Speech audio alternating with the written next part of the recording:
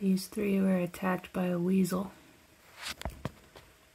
See the one's ear doesn't quite stand up straight anymore. But they're all eating and drinking. They were quite happy to come with me. And mom's in there in the back. She doesn't even like me normally, but when I went to grab them after the weasel attack, she'd fucking let me pick her right up. Give them a few days in here. I'm going to try to weasel proof the pen. And go from there.